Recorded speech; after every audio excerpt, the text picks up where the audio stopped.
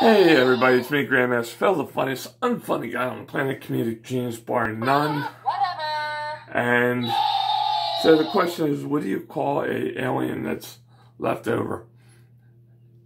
Extra